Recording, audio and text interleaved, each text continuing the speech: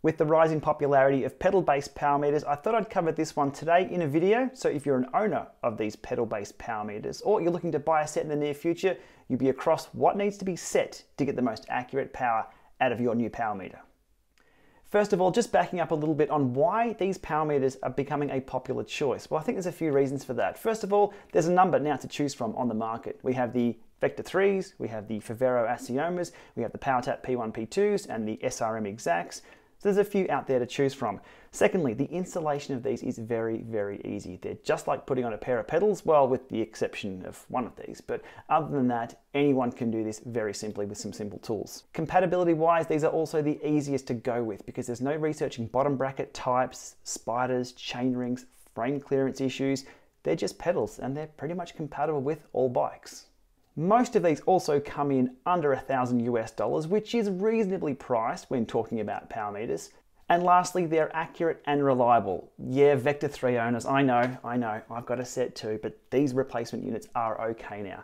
And by accurate and reliable, I mean accurate and reliable enough at a consumer level for us to get the most out of our training.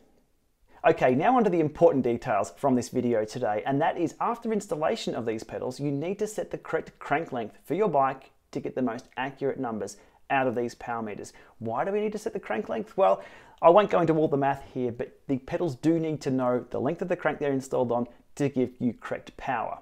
The crank length configuration is stored on the pedals themselves, and there are two places to set that. First of all, you can set it within the mobile app for the pedal. So for example, here is the Garmin Connect app configuring the Vector 3s. Here's the Favero app configuring the Assiomas. And here is the PowerTap app configuring the P1s slash P2s. And you only need to set that once. You set it once on one pedal and it will transfer over to the other. In theory, usually that works just fine. Now you use that configuration if you're going to be using your power meter pedals for something like Zwift or TrainerRoad or other software that doesn't have that configuration of the device in there to set the crank length. So it needs to know from somewhere. It's got to come from the pedals. So once that's set, you're good to go. However, if like the rest of us, or most of us, you're configuring a Garmin or a Wahoo head unit with this new power meter, these also do something interesting. You need to set the correct crank length on these. It will default to 172.5 with both of these, and whatever is set in these will override and overwrite the pedals. Be aware of that. Once your power pedals are paired to a Garmin unit, you just go through the menus, the device settings, and set the crank length in there, making sure it's correct for the bike that it's on. That will then send that to the pedals. Away you go. Happy days. Also do a zero offset while you're there.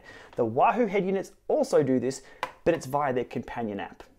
So just loading that app up next to me here, I will connect to my Roam, which is connected to my Assiomas, and I'll show you the screen here. So we go down to sensors, set up sensors, we have the Assiomas set there and it's configured crank length and we just scroll down and set the crank length to the bike here. So there are our options 165 through to 180 at the moment and whatever I set there will be sent to the pedals and stored on the pedals. So that's the catch, gotcha, something you do need to know.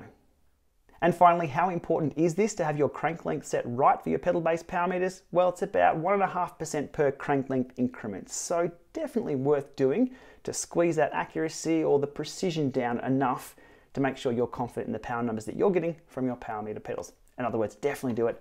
Definitely do it on your head units because that will then write down to the pedals. Anyway, there we go. Reminder from me, hot tip, get it crank length set correctly, and away you go. Happy days. Thanks for watching this one. Remember to hit subscribe to support what I'm up to here, and we'll be back with more soon.